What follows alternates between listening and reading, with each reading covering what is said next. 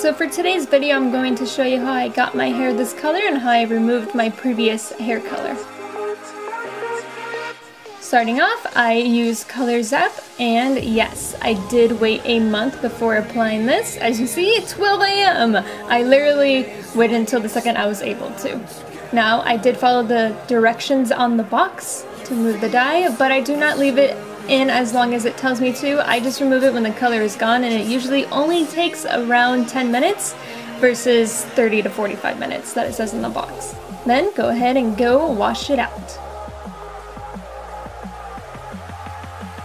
When you're done washing it, go ahead and blow dry it and section it and get it ready for bleaching. When sectioning it, I make sure that I make it very easy for me to get to because I am doing this on my own and I want to do this very, very quick.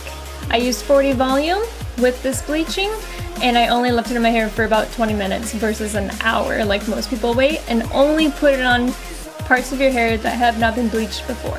Sadly, my camera ran out of room while I was dyeing my hair and I had to transfer the files while doing the rest of my hair, so I actually didn't get to film me doing my actual hair, but I do show you how I did my extensions. These are the extensions that I use, VP Fashion. I also have a code from them, so you can get some money off if you use that code. I also get my scissors from them, that's how I cut my hair extensions. I also got a ponytail extension piece, which I will show you guys in another video how to actually install that. Then for dye, I got it from Arctic Fox, Irish Green, Neon Moon, and Aquamarine.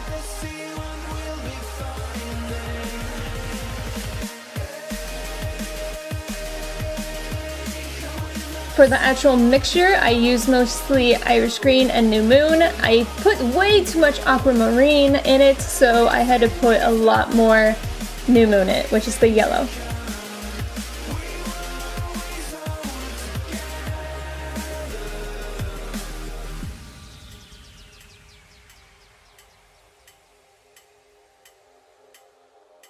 As you can see when I'm applying it to the extensions, I am laying down the color first on both sides, making sure I cover every single hair in the dye.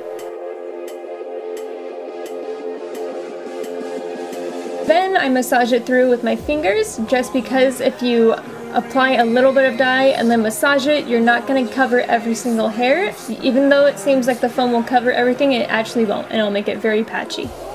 Then let it hang up on a towel overnight and let it dry.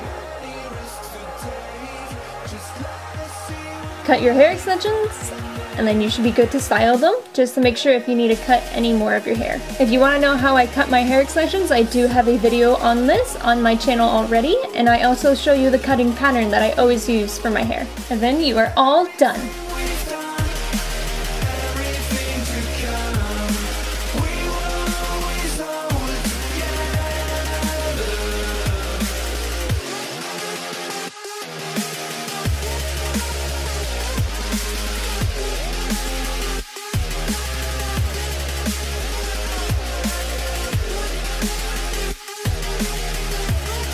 Here's my hair in natural lighting, and then here's my hair in unnatural lighting.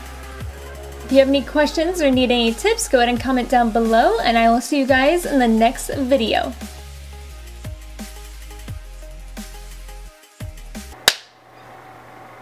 No.